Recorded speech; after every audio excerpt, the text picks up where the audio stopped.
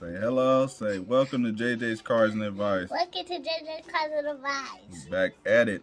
Back at it. Yeah. Say hi. Hi. Yeah.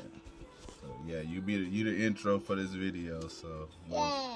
so you'll see yourself not in. So you'll see yourself later. So when we drop the video, I'll show you the video after we drop it. Okay. Okay.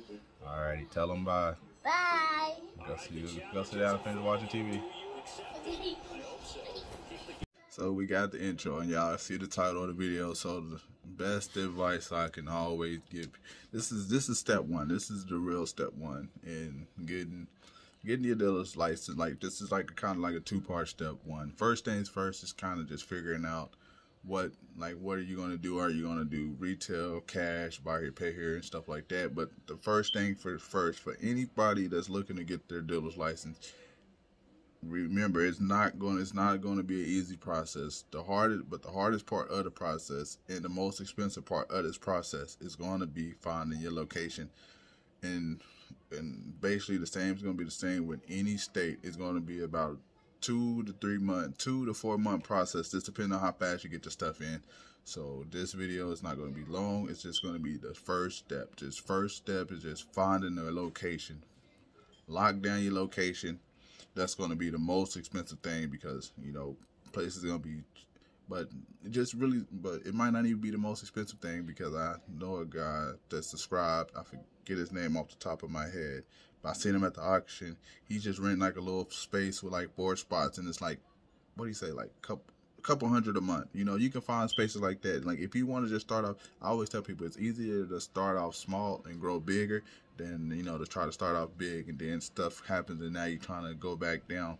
So find your little just find your little spot on the side. You can find you some on most in most states you can find your little spot on the side of convenience store. You can find you uh most spots inside of uh let me get that glare off my gas glasses you can find you a spot inside like a little strip mall, little suite where you know you only have like six parking spots, you know, and that's all you need, and just for a couple hundred a month, just get that expense out the way because all the other expenses is not going to be expensive, you know. Like that's what I said: location, location, location, location. That's all you need. So this is just a quick video. Just that's step one. Step one in the diligence. What is it? That's my oldest child getting her did. But yeah, that's step one in the process. Figuring out your location. Just get your location taken care of and squared away. And then all the other stuff. I might just do a video. This might just be step one. Put it in steps because every step is going every every state is going to be about the same on how to get your dealer's license, the bond and the insurance and all this stuff. All the coverages is going to literally be about the about the same coverages that you're going to need, basic coverages, you're going to be like 25,000, 100,000, all this is going to be basically about the same. So this is just step one, finding the, find your location, make sure you find it, lock it down because, you know, because that's going to be four months, but you can just look it up in your area. And if you just drop your state in there, drop your state in the comment section below.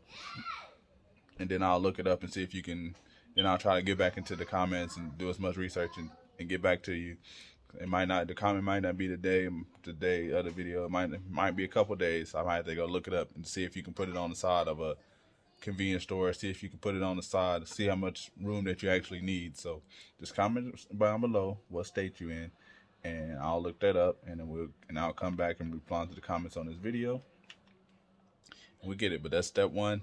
Find a location. Find a location.